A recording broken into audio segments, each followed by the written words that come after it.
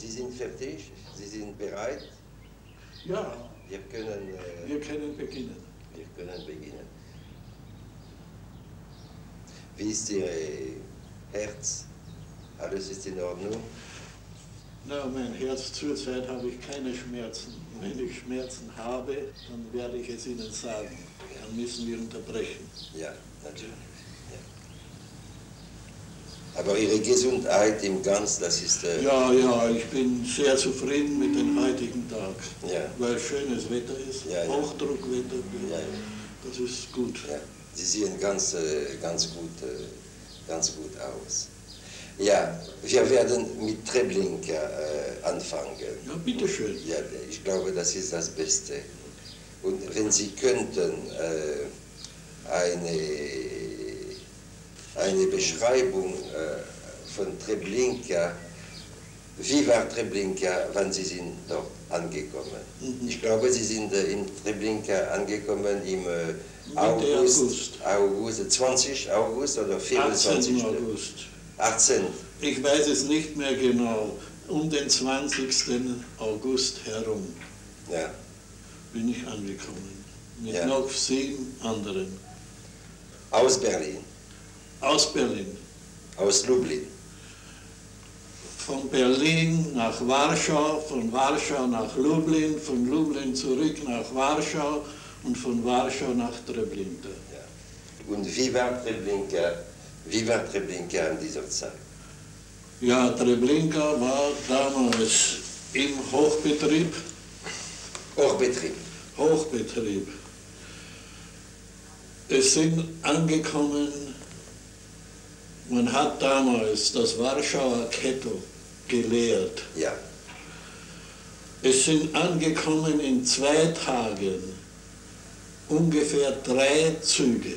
Ja, und immer mit drei, vier bis 5.000 Menschen, alle aus Warschau. Dazwischen sind aber auch noch Züge gekommen aus Kielce und von anderen Orten. Und da kamen drei Züge, die hat man, weil die Stalingrad-Offensive im Gange war, hat man die Judentransporte an einen Bahnhof stehen lassen. Und noch dazu vielfach in französischen Wagen, ja, die waren aus Blech. Es ist so, dass es war, dass in Treblinka angekommen sind 5000 Juden und davon waren 3000 tot. in, dem, in, in Im dem Waggon, die haben sich die Adern geöffnet oder sind so gestorben. Ausgeladen hat man Halbtote und Halbwahnsinnige. In den anderen Zügen aus Kielce und von anderen Orten waren mindestens die Hälfte tot. Die hat man aufgeschichtet hier, hier, hier und hier.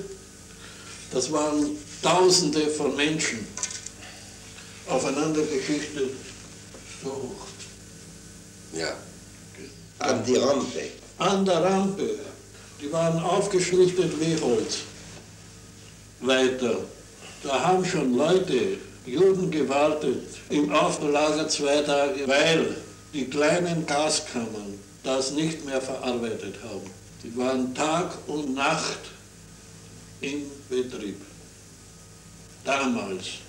Ja, aber können Sie bitte, können Sie ganz genau schildern, Ihre äh, erste Eindruck aus Treblinka? Ganz genau mit, äh, Ja, das, das, das ist sehr wichtig. Der erste Eindruck in Treblinka für mich und für einen Teil meiner Kameraden war katastrophal, weil man uns nicht gesagt hat, wie und was, dass dort Menschen getötet werden. Das hat man uns nicht gesagt. Sie wussten gar nicht. Nein, Wir Aber haben das, das, ist, das ist unglaublich. ja, aber es ist so. Ich wollte ja nicht gehen. Ja, Und mir, das ist gerichtlich bewiesen. ja, Und mir hat man gesagt, mach Herr Sucher mal, dort sind große Werkstätten für Schneider und Schuster, die werden Sie überwachen. Nicht wahr? Aber Sie wussten, dass, er war ein, dass es ein Lager war. Ja, man hat gesagt, der Führer hat Umsiedlungsaktionen angeordnet. Ah, ja. Das ist ein Führerbefehl. Ja, ja. Verstehen Sie? Umsiedlungsaktion. Umsiedlungsaktion. Man hat nie gesagt töten. ja.